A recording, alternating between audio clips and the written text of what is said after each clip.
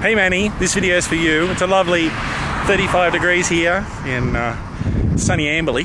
Amberley Air Force Base is just behind me over here. And across the road is an interesting hole that I thought you might like to look at.